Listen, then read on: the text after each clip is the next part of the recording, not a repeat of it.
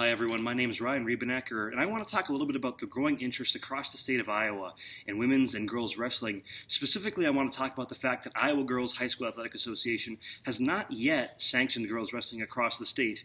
Uh, as a man, I believe it is every person's duty to fight for equality across sports, especially from across the gender gap. So, is it time for the IGH SAU to sanction women's wrestling? And that's what I want to find out.